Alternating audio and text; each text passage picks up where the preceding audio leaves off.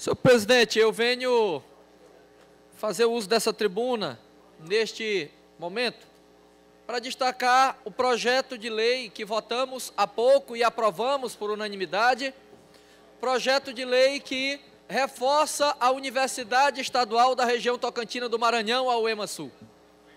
Todos aqui acompanharam e votaram no ano passado, no segundo semestre, o projeto de lei que criou a UEMA Sul, de iniciativa do governador Flávio Dino, com toda a sensibilidade, cumprindo um compromisso de fortalecer uma universidade regional. E com sede Imperatriz, a nossa UEMA Sul foi criada. A autonomia que tanto lutamos, de fato chegou. Autonomia orçamentária, administrativa, e o sonho de fortalecer essa universidade, de abrir suas portas, de fazê-la presente nos municípios da região tocantina, nesses 22 municípios que a integram. Hoje é mais um passo para a consolidação dessa universidade.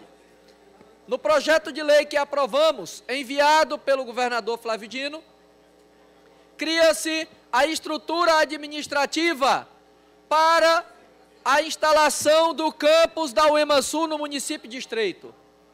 E nós que acompanhamos bem de perto, junto ao prefeito Cicim, deputado Rogério Cafeteira, deputado Léo Cunha, todos que fazem política, deputada Valéria, os que fazem política naquele município, todos participaram e vibraram com a instalação da UEMA Sul no estreito que, dessa definição. E agora vem os passos para que seja efetivada.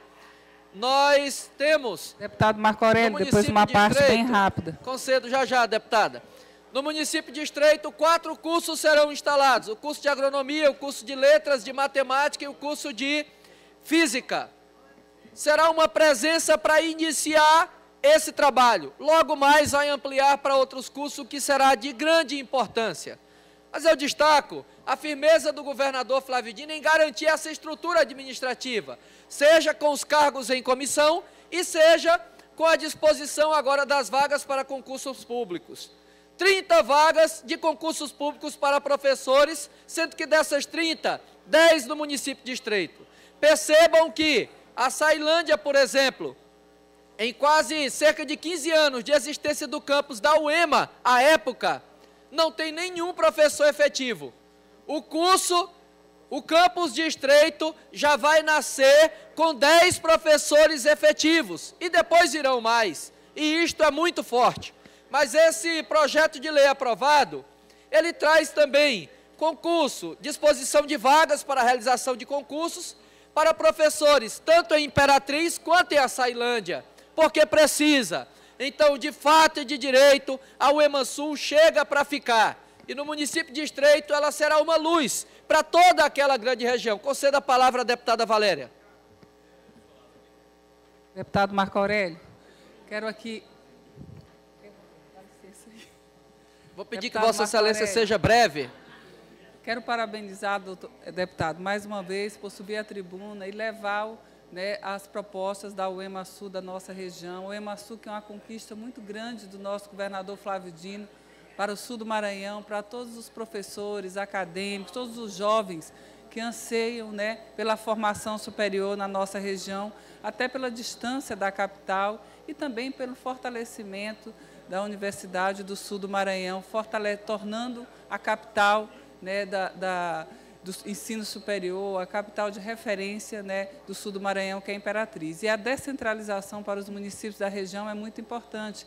Nem todos têm a oportunidade de pagar um, uma van, um ônibus para se deslocar para a Imperatriz. E tendo a UEMA Sul com todas as estruturas que já tem em Estreito, como tem em Porto Franco, vai ter em Amarante, nós podemos possibilitar esses jovens e a formação de novos professores, criando mais oportunidades de desenvolvimento para a região e empregos, né?